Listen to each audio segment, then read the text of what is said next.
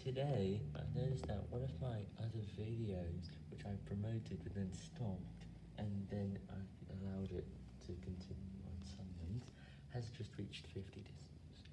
So that is just really common with those videos, although this didn't happen with flags in the sky, it only has 45 of those, but still, that's kind of worrying, and I don't know what the cause is. Maybe because other people clicking on our links, which I really wanted to do, disliking them so badly. So less than 15% of the people would like it in some cases. This would be under 10%, and it's just too much. It also